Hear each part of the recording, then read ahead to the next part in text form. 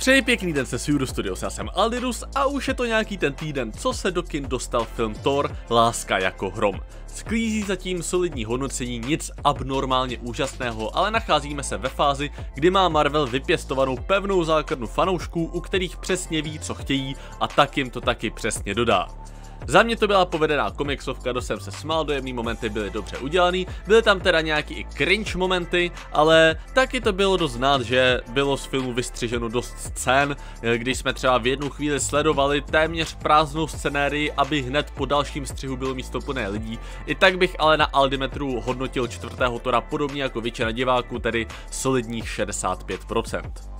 Po Thor, Láska jako hrom se budu těšit na Strážce galaxie Groot, Kluk jak Buk a pokračování příběhu s řeckými bohy mě zajímá a jsem zvědavý na pátý díl Thora. Pokud tedy vyjde, protože producenti nejsou úplně spoko s tím, kolik tenhle film zatím vydělal. Každopádně dneska tady nejsme kvůli hodnocení. Thor vyšel už dost dní zpátky, patrně většina lidí, kteří to chtěli vidět, už to viděli, takže dneska si můžeme dovolit mluvit o spoilerech. To bylo varování pro lidi, co to ještě neviděli, pokud jste to nechytili. Prostě budou spoilery, smířte se s tím.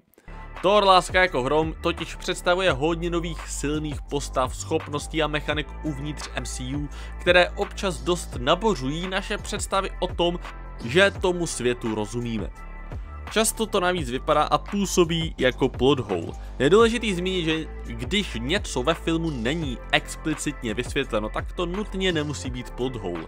Například scéna, kde Thor předává svou moc dětem, aby mu pomohli porazit stínová monstra, by byla o dost nudnější, kdyby před vykonáním rituálu Thor řekl tak jo, děcka, řítí se na nás hromada stínových monster, která jsem schopen bez potíží porazit sám, ale v tomto prostředí má Gor výhodu a stínová monstra tu jsou silnější. To jsme se naučili už v předchozích scénách.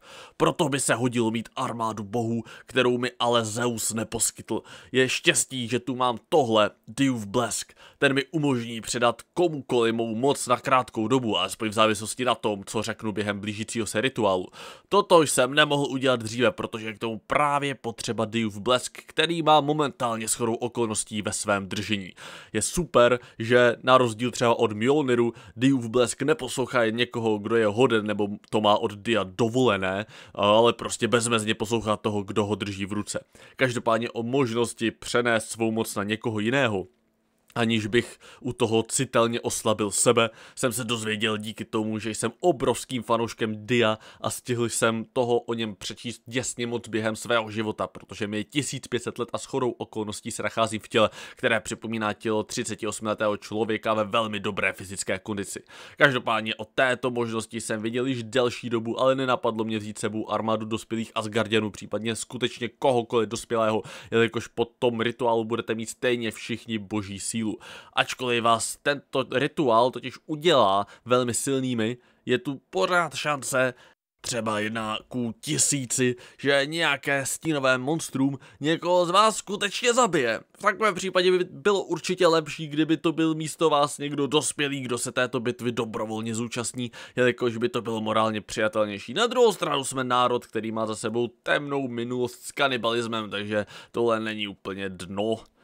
Navíc, i kdyby mě možnost přivést dospělé válečníky napadla, stejně bych to neudělal, protože vidět malou holku, jak plišovým králíčkem drtí hororové příšery je daleko víc cool. Zároveň Zatímco jsem se tady vykecával, stínový monstra jsou hned za rohem a nejspíš nestihnu vykonat ten rituál, o kterém jsem tu mluvil, takže tu nejspíš umřete. Já ne, protože jsem Bůh. No nic. Asi vidíte, že některé informace je lepší předávat implicitně. Na druhou stranu právě ve filmu, ze kterého toho bylo dost vystřiženo, je občas náročné pochytit všechno implicitní. Projdeme si tedy pár věcí, které se zdají jako plot hole a zkusíme přijít s nějakým smysluplným vysvětlením. Proč Thanos nešel za Eternity?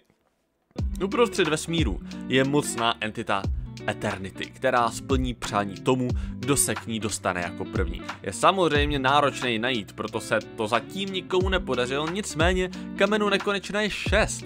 Jsou rozházený napříč vesmírem a pořád mění svoji polohu. Navíc o nich ví spousta dalších mocných tvorů, kteří buď je hledají také, anebo je střeží. Eternity nehlídá nikdo, ale lze se k ní dostat, aniž by si toho kdokoliv všiml. Dokončit svou kapesní sbírku minerálů nelze bez toho, abyste předtím nemuseli podstoupit několik plnohodnotných válek a v momentě, kdy rukavici využijete, se instantně stáváte o dost slabším než před lusknutím. Nabízí se možnost, že Thanos o existenci Eternity prostě nevěděl. Nicméně taky mu bylo kolem tisíci let a za svůj život nazbíral obrovskou knowledge. Vážně si myslíte, že by mu unikly legendy o jedné z nejsilnějších bytostí ve vesmíru? Je možný, že z těch informací, které nazbíral, se kameny nekonečna prostě zdály jako realističtější řešení. Pokud si Thanos s rukavicí nemohl prostě přát více přání, tak si mohl přát třeba více Eternity, nebo tak, ne? Nicméně Thanos byl doslova dedikován na jednu věc, zabít 50% všeho živého a to bylo to jediné, na čem mu záleželo a pak byl spokojený s tím, že umře. On prostě nepotřeboval víc přání a nepotřeboval hledat Eternity. Komplikace s více bohy. Lidé si pomocí bohů po tisíciletí vysvětlovali přírodní jevy, které v té době nedokázali vysvětlit. Případně víra pomáhá přečkat náročné časy a tak dále, ale v MCU, kde jsou bohové nadevší pochybnost reální, jak k sakru fungují. A pokud tu vedle sebe fungují bohové napříč mytologiemi, nezasahují si tak trochu do kompetencí? Řekl bych, že ne. Například Thor jako bůh hromu rozhodně není zodpovědný za každou bouřku, která napříč vesmírem nastává. Thor, podobně jako další bohové v MCU, jsou patrně jen velmi mocné entity. Jak je možné vyčíst konverzace Gora a Rapu a případně Diova proslovu, alespoň část božské moci musí vycházet z jejich následovníků, z lidí, kteří je uctívají a kteří jejich jménem obětují ostatní.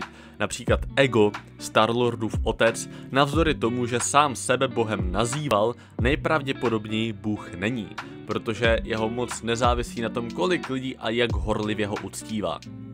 Řekl bych, že podle této definice by i bylo vykonáno přání Gora zničit všechny bohy. Jak je to k čertu s Valhalou? Z konce Thor Láska jako hrom se dá usoudit, že kdo se dostane po smrti do Valhaly, ten se rozplyne do zlatých třpitek. Tak jako Chain. Je tu jeden problém. Jak Thor říkal Lady Sif, aby se někdo dostal do Valhaly musí zemřít přímo v boji. Pokud podlehne na následky zranění klidně na místě, kde bylo před pár minutami ještě bojiště, tak žádná Valhalla... no jo, jenomže víte, čí smrt byla doprovázena třpitkami? Odina. A ten rozhodně v bitvě nezahynul. A pokud budeme Simperlich, tak Jane taky nezemřela v bitvě. Technicky jí zabilo vyčerpání po boji spojené s rakovinou a to v době, kdy už žádná bitva neprobíhala. Tak jak se tedy dostala do Valhaly? Co to znamená? Je to plot hole? No, v první řadě nevíme, jestli jsou podmínky pro bohy a běžné Asgardiany eh, stejné, nebo jestli se liší. Zároveň eh, podmínky pro vstup do Valhaly mohou být velmi odlišné od toho, co si Thor a ostatní myslí, protože se s Asgardiany, co jsou ve Valhale, běžně nekomunikuje a nikdo s jistotou neví, jak to funguje. Třeba jsou podmínky daleko volnější a třeba by se Sif do Valhaly rovněž bez problému dostal. Přestože my, jako diváci, již víme, že Valhalla skutečně existuje, pro postavy v MCU je to pořád z velké části legenda. Legenda, která Asgardianům pomáhá v motivaci v boji. Pokud se do Valhaly dostanete po hrdinské smrti během bitvy, ale vteřinu po posledním úderu už to neplatí, no tak vás to jako válečník za Asgard motivuje v boji nechat všechno, protože když zemřete, tak jdete na lepší místo. No a pokud přežijete třeba i se zraněním, pak vás to zase motivuje v tom léčit si své rány a připravit se na další boj, než abyste odevzdaně leželi na zemi a čekali na smrt. Prostě dává smysl, aby ta legenda fungovala takhle, ale o tom, jak to funguje doopravdy, my úplně nemáme moc informací. Co si o to myslíte vy? Já budu moc rád za like a odběr na kanál Sur Studios. Pokud chcete, můžete nás podpořit skrze členství na kanále. Tak jako třeba Ondřej Novák, Yuki nebo Captain Omicron, kteří jsou členy páté úrovně prezidenta Ondry a my jim moc děkujeme, že pomáhají udržovat tento kanál v chodu. To bylo pro dnešek skutečně všechno, odkazy na všechno možné i nemožné jsou v popisku, zatím se mějte a čau.